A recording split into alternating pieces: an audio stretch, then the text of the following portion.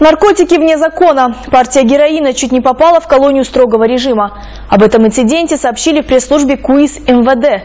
Ядовитый дурман не попал в режимный объект благодаря грамотным совместным действиям сотрудников исправительного учреждения и ГУВД города Шахтинска.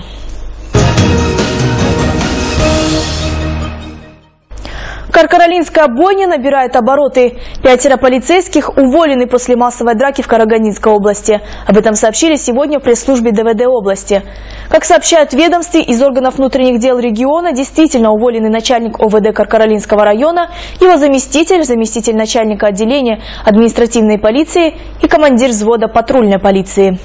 Все эти вопросы сейчас э, выясняются на сегодняшний день один сотрудник полиции.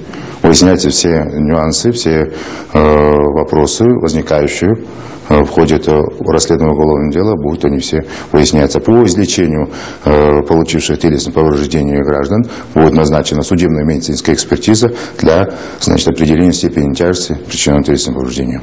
Освобождены от занимаемых должностей.